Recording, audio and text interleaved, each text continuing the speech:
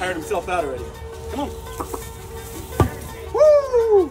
You hear that? Now, Bonecrusher's are biggest, and baddest, and oldest American crocodile here at Gatorland. As you can tell, he doesn't have too many teeth. He's a little bit of an old man. He's Got to go wash down that rat. Got the early bird special going on right now.